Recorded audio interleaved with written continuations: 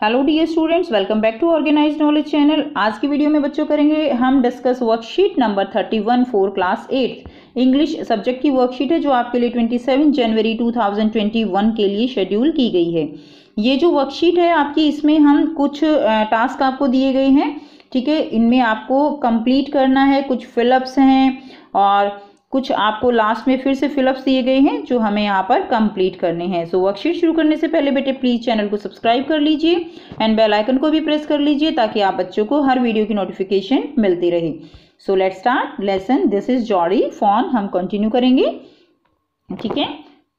ए task दिया गया है in your opinion which words in the list below describe Jody तो इसमें आपको बताना है कि आपके ओपिनियन में जो ये वर्ड्स दिए गए हैं, इनमें से कौन से वर्ड्स हैं जो जॉडी को डिस्क्राइब कर रहे हैं? Look up the dictionary for words which you are not sure of use words from the list to complete the sentence below अगर आपको कोई वर्ड नहीं आते हैं तो आप डिक्शनरी की हेल्प ले सकते हैं और आपको यहाँ पर नीचे जो सेंटेंस गिवन है, इसको कंप्लीट करना है। सो देखिए फ़र्स्ट क्या है? काइंड हार्टेड यानी जो दयालु होता है स्केरी यानी डरा हुआ केयरलेस जिसको जो केयर ही नहीं करता है हार्टलेस भी कुछ ऐसा ही है कि जो बिल्कुल ही डरपोक है सेंसिटिव जो बहुत ज़्यादा सेंसिटिव है, ठीक है ना? संवेदन, संवेदनाएँ ज़्यादा हैं रिस्पॉन्सिबल यानी जिम्मेदार है। तो अब आपको बताना है कि जॉडी के अंदर इसमें कौन कौन सी जो है, यहाँ पर क्वालिटीज़ हैं। सो देखिए I think that Jody was kind hearted तो देखिए काइंड हार्टेड हो गया उसके बाद क्या करेंगे? स्केरी तो ये नहीं है। केयरलेस भी नहीं है जॉडी हार्टलेस भी नहीं है जॉडी क्या है? सेंसिटिव है, ठीक है ना? जॉडी क्या है? सेंसिटिव है। वो बहुत सेंसिटिव है। उसको यही लग रहा है कि पता नहीं फ़ोन का क्या हुआ होगा, जब उसकी मदर, उस, उन्होंने, जो मदर की डेथ हो गई। एंड ऑल्सो रिस्पॉन्सिबल तो क्या लिख देंगे यहाँ पे? रिस्पॉन्सिबल ठीक है? तो दोनों जो है यहाँ पे आप फिल कर देंगे। Jody I think that Jody was kind hearted sensitive and responsible तो ये जो है आपके दोनों इसमें आंसर आ जाएँगे। नेक्स्ट करते हैं B part who said the following lines in the lesson this is Jody fawn किसने कहा ये? दिस इज़ जॉडी फॉन तो ये क्या है? यह जॉडी का फॉन है। Write your answer in the blanks below तो आपको जो है बताना है कि ये वर्ड्स किसने कहे? You are smarter than boys of your age तुम जो है अपनी एज के बॉयज़ में ज़्यादा स्मार्ट हो। तो ये वर्ड्स किसने कहे थे? ये वर्ड्स पैनी ने कहे। ठीक है, पैनी कौन है? पैनी जो है जॉडी के फादर हैं। नेक्स्ट देखिए nothing in the world comes quite free कुछ भी इस दुनिया में फ्री नहीं मिलता। तो ये बात किसने कही थी? ये बात डॉक विल्सन, जो कि डॉक्टर थे, उनके घर पे आए हुए थे। उन्होंने ये बात कही कि nothing in the world comes quite free next देखिए but I am afraid to leave you boy ये ये किसने कहे थे बेटा वर्ड्स ये जो है कहे थे मिलविल ने। जब मिलविल जो है उनके साथ जाने के लिए कह रहा था और फिर जब जॉडी ने कहा कि वो फ़ोन को ढूंढ लेगा सर्च कर लेगा और वो मिलविल को वापस भेज रहा था, तब मिलविल ने ये जो है उसको कहे थे कि but I am afraid to leave you boy कि मुझे जो है तुम्हें छोड़ते हुए, अकेले छोड़ते हुए डर लग रहा है। तो ये आंसर दिए गए हैं। आप इनको फिल कर लेंगे। नेक्स्ट देखिए, आप इसको लिखेंगे कैसे? आप ये ये पहले सेंटेंस लिख लीजिए, उसके सामने आप लिख दीजिए, ठीक है? ऐसे ही क्लाउड बना के। सी पार्ट दिया गया है। देखिए सी पार्ट जो है, काफ़ी इसमें फिलअप्स दिए गए हैं तो आपको यहाँ पर कैसे करना है? मैंने इसमें आपके लिए हाईलाइट जो है, यहाँ पे कर दिया है। जो रेड में हाईलाइट है, वो इन सब के आंसर हैं ओके तो हम इनको डिस्कस करेंगे, साथ में आंसर जो है, इनके गिवन है। फ़र्स्ट देखिए Jody's father was bitten by a rattle Jody father जो है, उनको काट लिया था किसने? रेटल स्नेक। तो आंसर क्या रहेगा? डॉ और स्नेक आपको ऑप्शन दिया गया है। So Jody's father was bitten by a rattle snake तो इसमें क्या आ जाएगा? स्नेक आ जाएगा।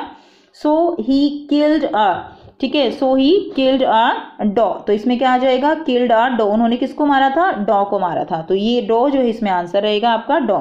Okay doe to save himself from the from the poison तो इसमें क्या आ जाएगा? पॉइजन आ जाएगा। ओके सो उन्होंने किसको मारा? डो को मारा। पॉइजन जो है उसको आ, से उससे अपने आप को बचाने के लिए।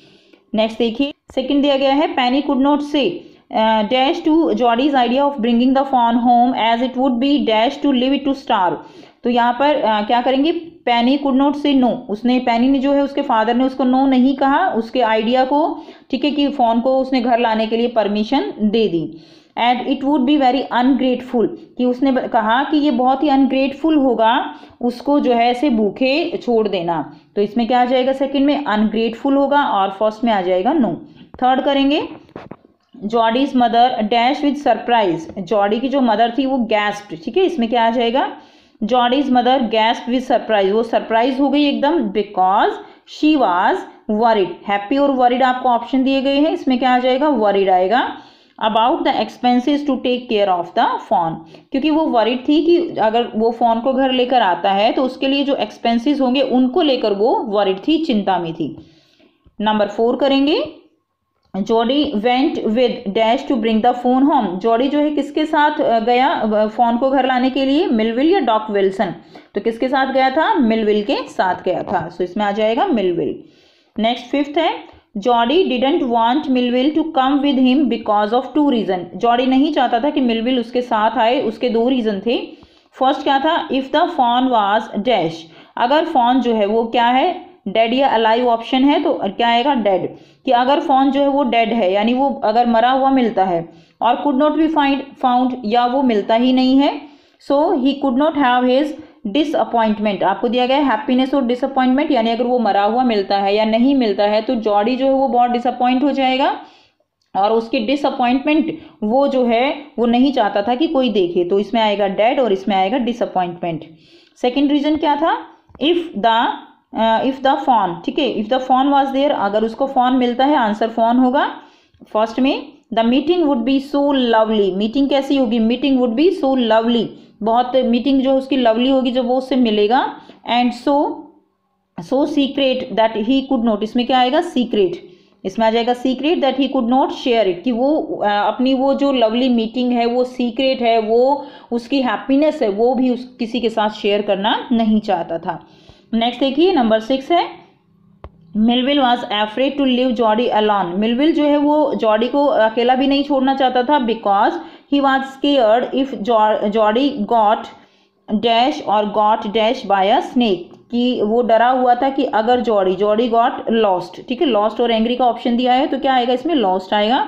That if Jody got lost और got bitten by a snake anxious और बिटन का ऑप्शन है आपके पास, बच्चों। तो इसमें क्या आएगा? Bitten by a snake okay so इसलिए वो उसको अकेला नहीं छोड़ना चाहता था। उसको डर था कि कहीं ये खो जाए या इसको स्नेक बाइट कर ले।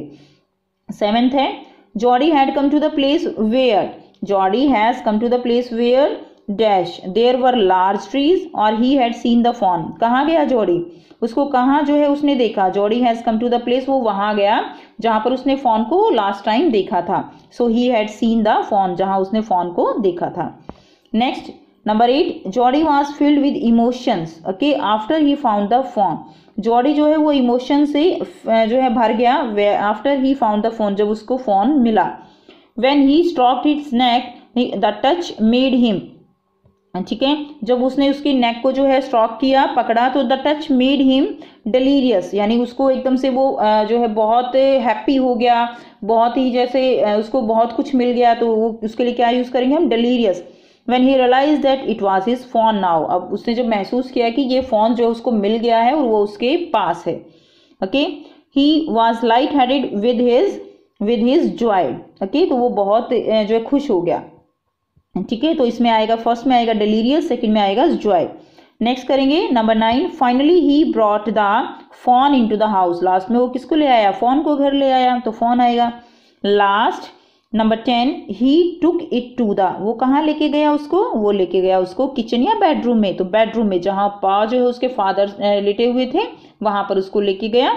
So he took it to the bedroom okay and fed it with milk by his fingers okay किससे? उसने जो है बाय डिपिंग डिपिंग और हार्टिंग दिया गया है so it with milk by dipping तो इसमें आ जाएगा डिपिंग इसमें dipping his fingers in the milk and thrusting them into the fawn mouth उसने टिप करके फिंगर अपनी मिल्क के अंदर और उसको जो है फॉन को पिलाया।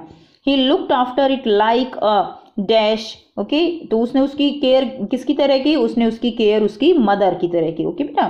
किसकी तरह की? उसकी मदर जैसे मदर जो है बच्चे को खाना खिलाती है अपने हाथों से तो इसी तरह जो जॉडी है वो भी फ़ोन को अपने हाथों से खाना खिलाता है लाइक अ मदर सो यहाँ पे आएगा आपका मदर तो बेटा, ये जो भी आपके रेड में जो मैंने यहाँ पर हाईलाइट किए हुए हैं। ये आपके सारे इसमें आंसर हो जाएँगे जो आप फिल करेंगे।